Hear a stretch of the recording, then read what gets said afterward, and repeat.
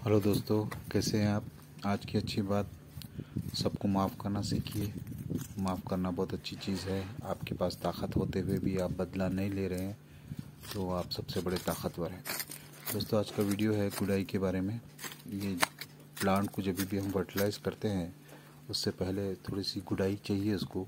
अतराफ़ की मिट्टी को खोद के उसको दो दिन के लिए छोड़ दीजिए, ताकि वो अच्छी तरह सूख जाए और उसका अंदर के जितने भी कीटाणु हैं जरासीम है, वो मर जाए, जिसकी वजह से हमारा प्लांट ख़राब होता है।